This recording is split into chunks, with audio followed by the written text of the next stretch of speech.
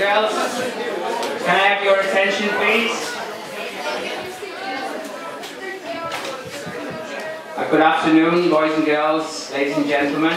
Uh, welcome to our performance of Christmas Carol. Um, this performance is by our low school children, that's classes 7, 8 and 9. Um, they have been working extremely hard over the last um, five or six weeks under the guidance of Mr. John. So I hope you enjoy the performance. Um, the children have worked very, very hard and I think it will be a very nice experience for all of us.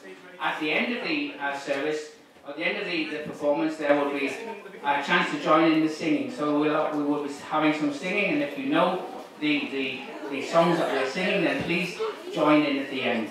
Okay, now Mr. Darrell wants to just make a, a slight announcement before we begin.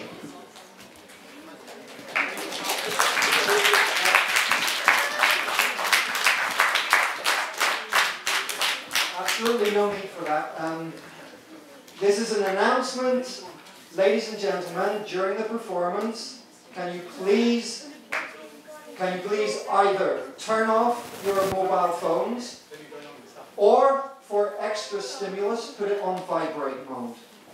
Thank you. Thank you very much. I hope you enjoy the performance. Can you turn it off because it makes a vibrating sound? Ask the technical man. How do you turn this off? Can you turn this off? It makes a vibrating.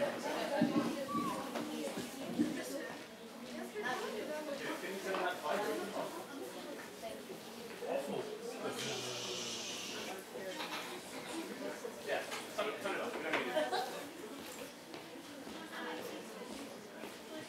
Great, thank you so much. Welcome. I hope you enjoyed the show. Perfect. Guys, can I set up?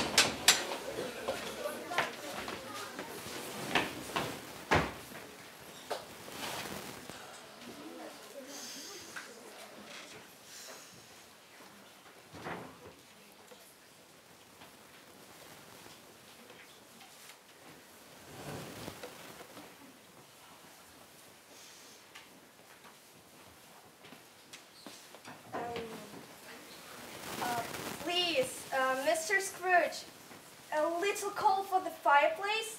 It's dreadfully cold. I can hardly breathe from all the shivering. Coal? And right out of your pay it will come if you ask once again. Now hurry up and finish or you'll be here all night. But it's Christmas Eve. No need to remind me. Disgusting. All these poor people, ugh, screeching outside like cats. It's enough to drive you mad. Yes, the sooner this nonsense is over, the better. Good riddance to good rubbish.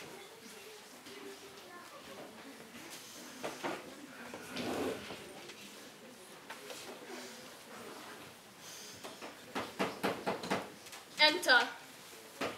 I said enter, you cretin! Merry Christmas to you, Uncle. God save you. Bah! Humbug! Christmas? Humbug? Come along now, Uncle. Surely you don't mean that. Merry Christmas! What reason have you to be merry? You're poor enough. What right have you to be so dismal? You're rich enough. Humbug! If I could work my will every idiot that goes around with Merry Christmas on their lips should be boiled in the rind pudding. Uncle! Nephew, what good has Christmas ever done to you? There are many things from which I have derived good and not profited. Christmas is a kind, charitable time. The only time when men open their hearts and think of other people as travelers to the grave, and not some kind of other race of creatures bound on other journeys. Come, Uncle, dine with us tomorrow. Christmas Day is a time for rejoicing. I will see you in hell first. I ask nothing of you. I want nothing of you. Why can't we be friends? Good evening to you. I'm sorry with all my heart to find you so, but I love Christmas and what it brings, and as such, I say Merry Christmas to you, Uncle, Good evening to you. and a Happy New Year, Good evening to you. and a Merry Christmas to you, Bobby Cratchit. Toodles.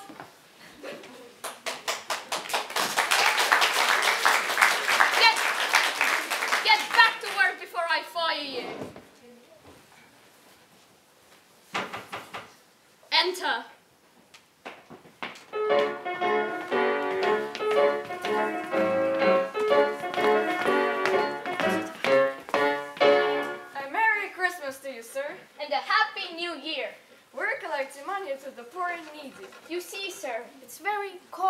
Outside at this time of year. Many people are in need of the simple pleasures such as a warm bowl of soup and a place to sleep. And we're collecting money for them. How much money can we put you down for? Are there no workhouses or treadmills? But, sir, what are you saying? Frankly, the poor would rather die. Then they better hurry up and do it and decrease the surplus population. Good evening, gentlemen. Oh.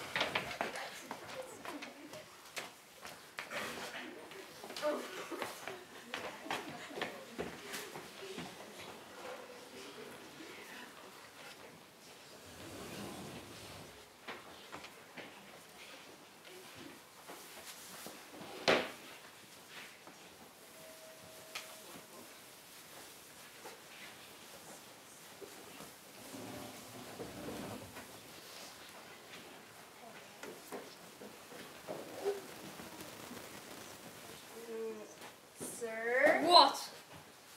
I finished all my work. Good. There will be more tomorrow.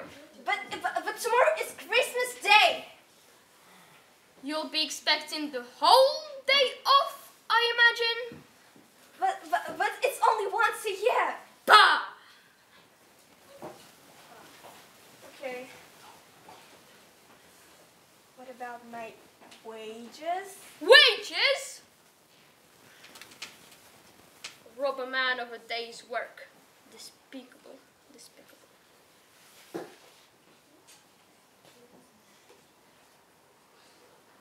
Thank you so much. Come back the day after to catch up. Yes, sir. Off with you then. Thank you so much.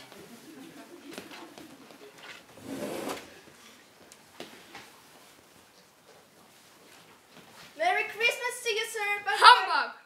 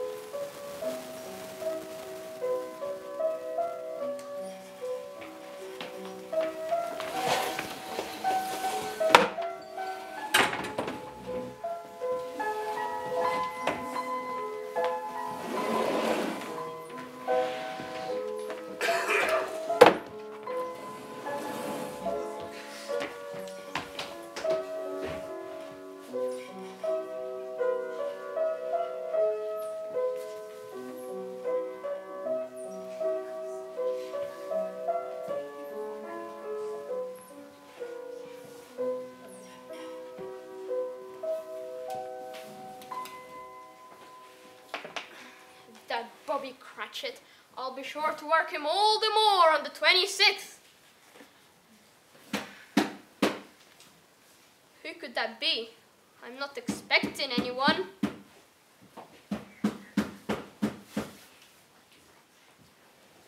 Who are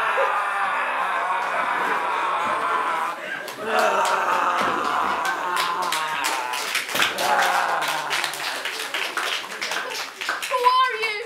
In life, I was your partner, Jacob Marley. No, no, it can't be. You're just, just a piece of undigested beef. Or a fragment of uncooked potato. Yes, yes, you're just a potato. Ah! Oh, woe is me. Why are you wearing chains? I wear the chain I forged in life. I made it link by link and yard by yard. Do you imagine the ch- length and weight of the chain you bear? But, but what can I do? You have a chance to escape my fate. Tonight, you'll be visited by three spirits. Three spirits? Expect the first when the clock um, hits 10, the second the hour after, and the last at midnight. I'm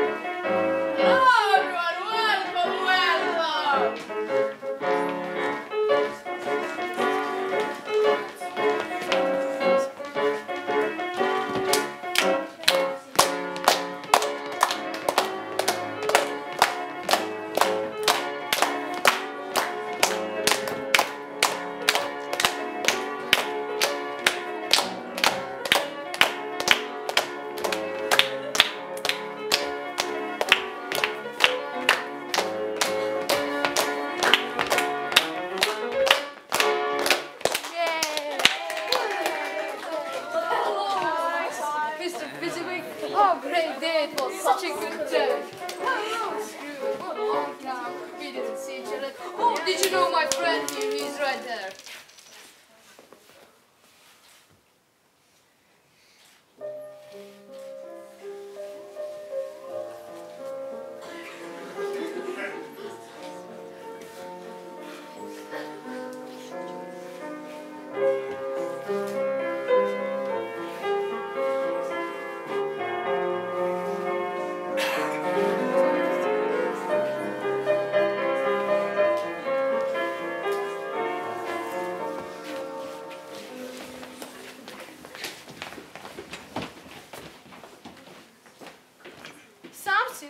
Has replaced me.